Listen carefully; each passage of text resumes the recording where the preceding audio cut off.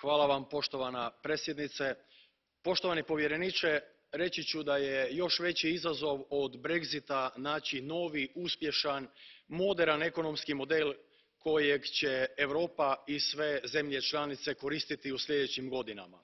Naime, europski proračun nikako ne smije biti strogi, bankarski, već razvojni, vizionarski proračun s ciljem da Europa ima najveći rast BDP a na svijetu, a građani najveći rast standarda.